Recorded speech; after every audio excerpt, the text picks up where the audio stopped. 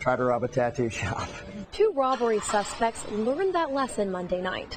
Deputies say it started when Israel Patti and Nicholas Hutchison walked into KaOz Tattoo. Deputies say the suspects kept exchanging pipes like this one.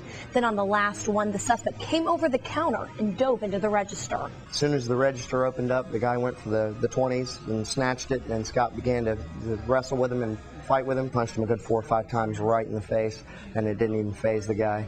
The manager says the suspects took a whole bunch of cash, but left behind only this. This is all of the $588 we recovered.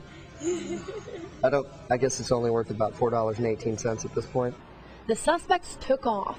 Rachel Johnson says one of the suspects is her brother and that she and her one year old were in the getaway car.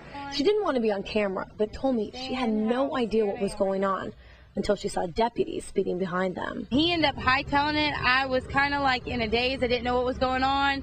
Aurelia just said, "Get out of here! Get out of here!" I didn't know what he was going. I didn't. I honestly didn't know what was going on. Johnson says deputies quickly spotted the car on I-10. The chase continued along Highway 29 before ending at Pine Forest and Nine Mile Roads. It took deputies a while to find one of the suspects because it appears he climbed up under this fence, crawled through a sewage hole, and ended up in a gutter.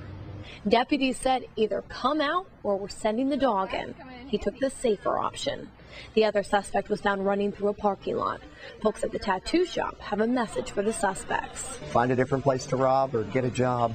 In Pensacola, Christina Leavenworth, Fox 10 News.